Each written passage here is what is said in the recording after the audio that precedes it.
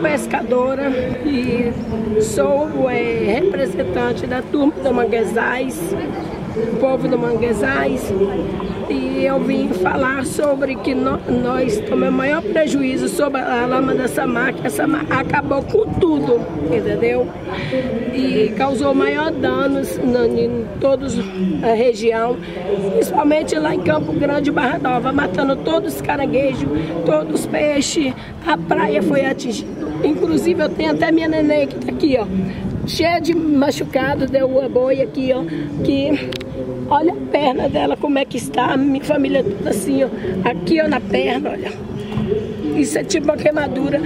E a, eu também, a perna toda atingida, lá, a, a, marca lá na perna. No meu rosto também tem atingido. Aqui, ó, aqui ó, também, ó, meus braços a minha filha também. Nós não temos como sobreviver mais, que a Samar acabou com nós. Na mesa da, da, da, do, do dono da Samar, não, não falta o pão para os filhos dele comer, não falta o leite para os filhos deles beber, não falta comida para os filhos deles comer, nem para eles. Agora, para nós, pescadores, falta. Nós somos pescadores. A gente fomos atingidos pela Samar.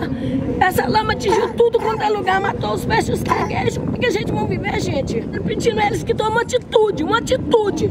Eles agem, porque a gente não, a gente não é otário, não. Mas como é que a gente vai sobreviver, gente? Nós, pescadores, nós, caranguejeiros, como é que vamos fazer para tratar nossos filhos e nossos netos?